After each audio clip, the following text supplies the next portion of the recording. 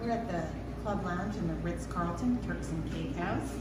So as you can see, there's plenty of cocktails, wine, prosecco, pretty much anything that you want to drink available here. And then they do a meal um, for breakfast and lunch and dinner. Um, some might call it like apps, I call it heavy apps or dinner.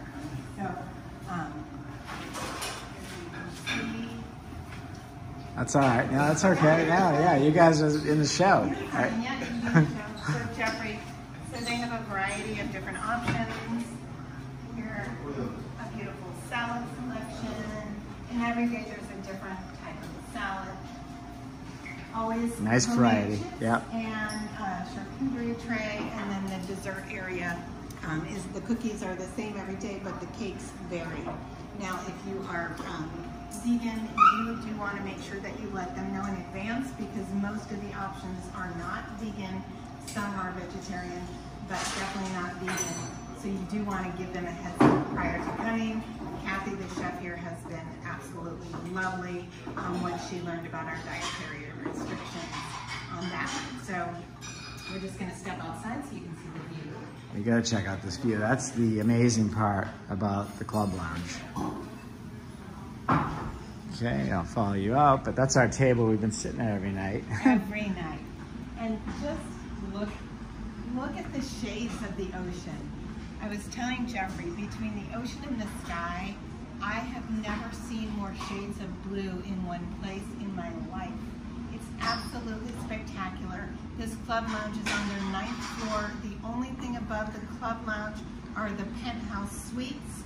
Um, but this club lounge is very quiet. Very few people have actually chosen to take advantage of it. Well, it's a it's a small lounge too, which is great. I really like the Yes. the, the quietness of it. Intimacy Yes. It's been very, very quiet. Um, and it's a little different than some of the other club lounges. I think they're newer.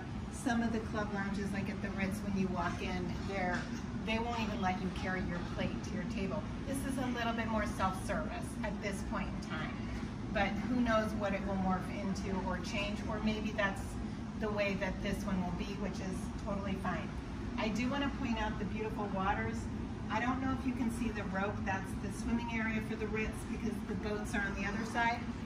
And this morning, we had the absolute privilege to see Jojo the dolphin literally right at the uh, base of the swim area. So, uh, and he was frolicking by. So what could be better? I mean, what we're leaving today, and I said that was really the send off for us. Wishing you great health, abundant happiness, and outrageous love from the Club, Club Lounge Turks and Caicos. Oh, wait, sorry, before I sign off, if you are lucky enough to be in the Club Lounge when Nadia's here, you are one lucky person because she has spoiled us rotten. Thank you so much, Nadia. And I also have to shout out again to Kathy, the chef, for giving us some special food uh, once she got wind of our dietary restrictions. She's on her way up, so we gotta get in there. But thank you. I'm gonna take one more look at this view.